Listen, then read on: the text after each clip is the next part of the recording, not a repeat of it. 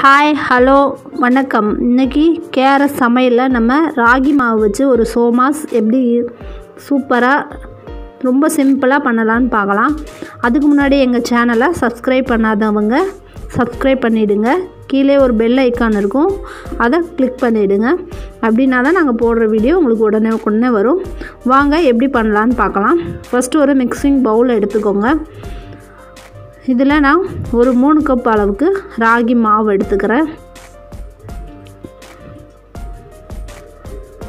இது நான் வீட்டிலே வந்து அரைச்சி சளிச்சு வச்சுருக்கேன். இந்த ராகி மாவு வந்து மூணு கப் எடுத்துட்டு அதுக்கப்புறம் அரிசி மாவும் சேர்த்துக்கணும். ஃபஸ்ட்டு மூணு கப்பு போட்டுக்கலாம்.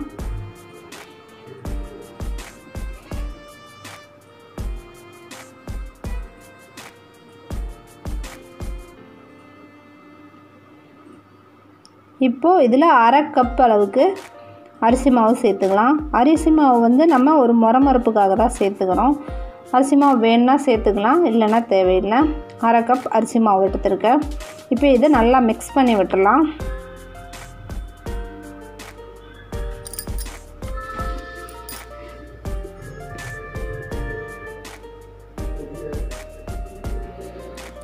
இது அப்படியே இருக்கட்டும். நம்ம ஃபஸ்ட்டு அரைக்க அரைச்சிடலாம். உள்ளே வைக்கிறதுக்கு பூர்ணம் அரைக்கணும். அதுக்கு அரை கப் தேங்காய் அரை கப் வேர்க்க வேர்க்கடல அரை கப் வெல்லம் ஒரு நாலு ஏலக்காய். இது எல்லாத்தையும் ஒன்று ரெண்டாக அரைச்சிக்கலாம். அரைச்சாச்சு. இப்போ நம்ம ராகி மாவை சப்பாத்தி மாவு பதத்துக்கு கொஞ்சம் கொஞ்சமாக தண்ணி விட்டு பிசைஞ்சுக்கலாம். ஃபஸ்ட்டு உப்பு போட்டுடலாம். உப்பு போட்டு ஒரு மிக்ஸ் பண்ணி மிக்ஸ் பண்ணிடலாம் ஃபஸ்ட்டு இந்த மாதிரி நல்லா மிக்ஸ் பண்ணி விட்டுக்கோங்க. இந்த டிஷ் வந்து குழந்தைங்களுக்கு ரொம்ப பிடிக்கும். இது நீங்கள் செஞ்சு கொடுங்க. ஈவினிங் ஸ்நாக்ஸாகவும் யூஸ் பண்ணலாம். மார்னிங் டிஃபனுக்காகவும் யூஸ் பண்ணலாம். எல்லாமே வந்து இதில் ஹெல்த்தியான ஐட்டம் தான். நல்லா கொஞ்சம் கொஞ்சமாக தண்ணி விட்டு சப்பாத்தி மாவு பதம் வர அளவுக்கு பிசைஞ்சிக்கலாம்.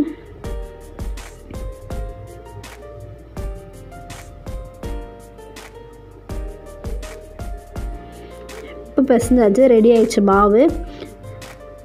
இப்போ நம்ம வாழை இலை எடுத்துக்கலாம். இந்த மாதிரி நான் பீஸ் பீஸாக கட் பண்ணி வச்சுருக்கேன். வாழை இலையை ஒரு தட்டில் வச்சுட்டு சப்பாத்தி மாவு உருண்டை மாதிரி கொஞ்சம் உருண்டை எடுத்து மாவு எடுத்து உருண்டை பிடிச்சிக்கோங்க. நல்லா ஃபோல்ட் பண்ணிவிட்டு இந்த இலையில வச்சு இந்த மாதிரி கை வச்சே தட்டி விடலாம். அந்த போலிக்கெல்லாம் தட்டுவாங்க இல்லைங்களா? அந்த மாதிரி நம்ம தட்டி விட்டுக்கலாம். ரொம்ப மெல்லிசாகவும் இல்லாமல் ரொம்ப தடியாகவும் இல்லாத அளவுக்கு தட்டிக்கணும். இதில் ஒரு சொட்டு ஆயில் கூட தேவை கிடையாது.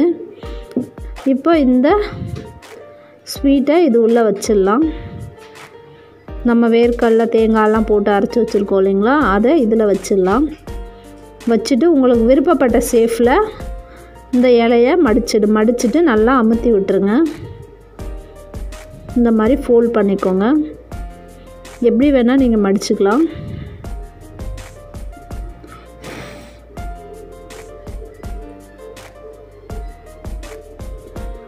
எல்லாத்தையும் மடித்தாச்சு எனக்கு கிட்டத்தட்ட ஒரு ஆறு ஆறு பீஸ் மாதிரி வந்திருக்கு.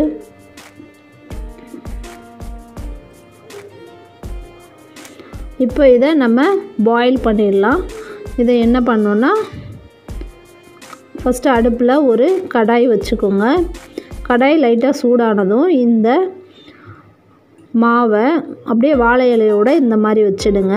வச்சுட்டு ஒரு டென் மினிட்ஸ் மூடி வச்சிடணும். அடுப்பு வந்து சிம்மில் தான் இருக்கணும். இதில் மூணு பீஸ் வைக்கலாம். நான் ஃபஸ்ட்டு மூணு வச்சிடுறேன். இன்னும் ஒன்று வைக்கலாம். வச்சுட்டு இப்போ ஒரு க மூடி போட்டு மூடிடலாம். ஒரு பத்து நிமிஷம் அப்படியே இருக்கட்டும் சிம்மிலேயும். வாழையில் வந்து நல்லா ஒரு மாதிரி சுருங்கி வதங்கிடணும். அந்த ஸ்டேஜில் திருப்பி விடணும். இப்போ நல்லா அடியில் வந் நல்லா நீர்த்து போயிடுச்சு. வேர்வை தண்ணியெல்லாம் விழுந்து இங்கே பாருங்கள் எப்படி வாழையில் மழை சுருங்கிடுச்சுன்னு. இப்போ அடிப்பக்கம் வேகும் போது நல்லா இதுவாகிடும் இந்த மாதிரி எல்லாத்தையும் திருப்பி போட்டுக்கோங்க. உங்ககிட்ட அந்த இடுக்கி திருப்பி போடுற இடுக்கி இருந்தால் அது கூட நீங்கள் யூஸ் பண்ணிக்கலாம். ரொம்ப ஈஸியாக இருக்கும். இப்போ மறுபடியும் ஒரு five to ten minutes close பண்ணி வச்சிடலாம். ஓப்பன் பண்ணி காமிக்கிறேன். ரெடி ஆயிடுச்சு. இந்த அளவுக்கு வெந்திருக்கணும். வாழையிலலாம் இந்த அளவுக்கு இதுவாகிடும் வெந்து சுருங்கிடும். இதோ பாருங்கள் ஓப்பன் பண்ணி காமிக்கிறேன். ரொம்ப டேஸ்டியான ராகி சோமாஸ் ரெடி ஆயிடுச்சு. இது ரொம்ப ஹெல்த்தியானது குழந்தைங்களுக்கு ரொம்ப ரொம்ப பிடிக்கும். சுகர் பேஷண்ட் நம்ம டயட் மெயின்டைன் பண்ணுறவங்கெல்லாம் இது சாப்பிட்டா ரொம்ப நல்லது. இந்த டிஷ் நீங்களும் ட்ரை பண்ணி பாருங்கள் உங்களுக்கு அந்த உள்ளே வைக்கிற பூர்ணம் அதிகமாக வேணும்னா கூட வச்சுக்கலாம். பாருங்கள் நம்ம கடித்து சாப்பிடும்போது நல்லா இனிப்பாக இருக்கும். நீங்களும் ட்ரை பண்ணி பாருங்கள் ரொம்ப பிடிக்கும். இந்த வீடியோ உங்களுக்கு பிடிச்சிருந்தா உங்கள் ஃப்ரெண்ட்ஸுக்கு ஷேர் பண்ணுங்கள் வேறு ஏதாவது புதுசாக டிஷ் எதனா பண்ணணுன்னா எனக்கு கமெண்ட் பாக்ஸில் கமெண்ட் பண்ணுங்கள் இது கேஆர்எஸ் சமையல் நான் உங்கள் முத்து. இது நம்ம சமையல் அறை. தேங்க்யூ